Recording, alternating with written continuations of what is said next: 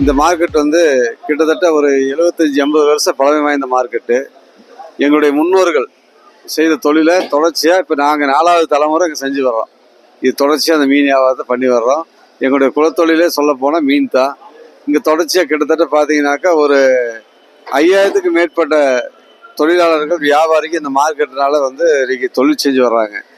மேலும் பார்த்தீங்கன்னா இந்த ப மார்க்கெட்டில் வந்து இங்கே இந்த உள் மார்க்கெட்டுக்குள்ளேயே ஒரு ஆயிரம் பேர்த்துக்கு மேலே இந்த மார்க்கெட்டை நம்பி வாழ்ந்து வர்றாங்க.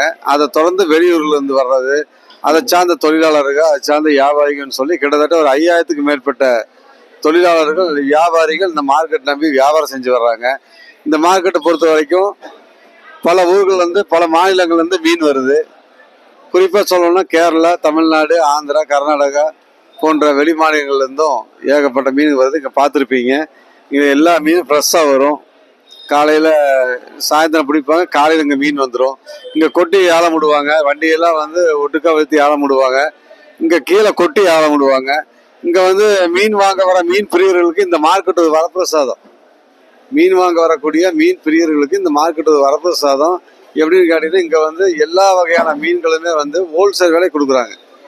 நியாயமான விலைக்கு ஃப்ரெஷ்ஷாக அவங்களே பார்த்து பல வகையான மீன்கள் இருக்குது அத்தனை மீன்களும் கொட்டி வச்சுருப்பாங்க.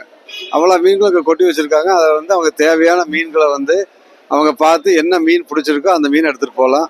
அந்த மாதிரி ஒரு சௌகரியமான ஒரு மார்க்கெட்டு இந்த மழையின் காரணமாக இன்றைக்கி மீன் குறைவாக தான் வந்திருக்குது. இன்றைக்கி வந்த மீன் பார்த்தீங்கன்னா பெரிய சைஸ் வஞ்சரம் கரிமீன் சால்மன் பட்டர்ஃபிஷ் வரிவோரான் வாவல் கெளுத்தி வெள்ளவாவல் பாறையில் நாலஞ்சு ஐட்டம் அதாவது மஞ்சப்பாறை தேங்காய் பாறை இந்த மாதிரி வெரைட்டிஸ் எல்லாம் வந்திருக்குங்க அப்புறம் பொட்டு நண்டு சிலுவை நண்டு ப்ளூ நண்டு ஐல பறவை மீன் இறால் இதெல்லாமே இன்றைக்கி வந்திருக்கு. ஆனால் விலையும் கொஞ்சம் மீன் குறைவாக இருக்கிறதுனால விலை கொஞ்சம் அதிகமாக இருக்குது.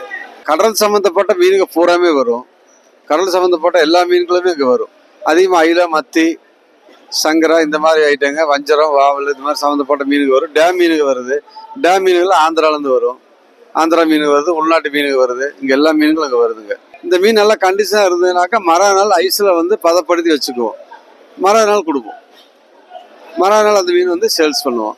அப்படி இல்லைன்னா வெளியே அனுப்பிவிட்ருவோம் கேரளாவுக்கு எந்த எந்த ஊர்ல இருந்து கொண்டு வந்தாங்களோ அந்த ஊருக்கு அனுப்பிவிட்ருவோம் மீன்.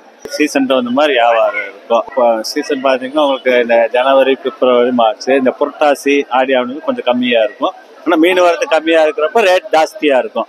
வரத்து ஜாஸ்தியாக இருந்ததுன்னா ரேட் கம்மியாக இருக்கும். இப்போ வந்து ரேட் ஜாஸ்தி தான் இருக்குது வரத்து கம்மியாக இருக்கிறதுனால. கேரளாவில் தடை இருக்குது அதனால.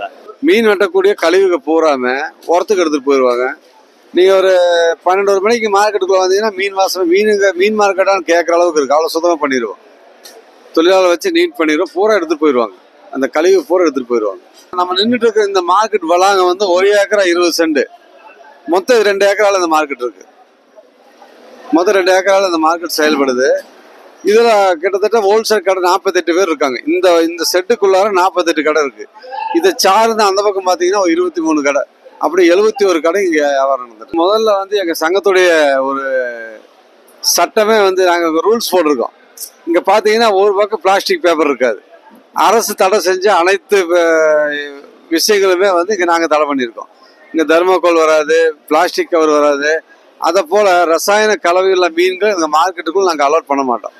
இங்கே வந்துட்டானாக்கா அந்த மீன்களை வந்து நாங்கள் விற்க மாட்டோம். இங்கே இங்கே நாங்கள் அலோட்டே பண்ணுறதில்ல இங்கே அடிக்கடி செக் பண்ணுறாங்க இங்கே ரசாயன கலவை மீன்கள் விற்கப்படுதான்னு அடிக்கடி செக் பண்ணுறதுனால ஃபுட் எல்லாம் வந்து அடிக்கடி வந்து இங்கே செக் பண்ணுவாங்க. மீன் வளர்த்துறவங்க வந்து செக் பண்ணும். ஆனால் இங்கே வந்து மக்களுக்கு வந்து தீங்கு விளைவிக்கக்கூடிய எந்த மீன்களும் இங்கே விற்கிறது இல்லை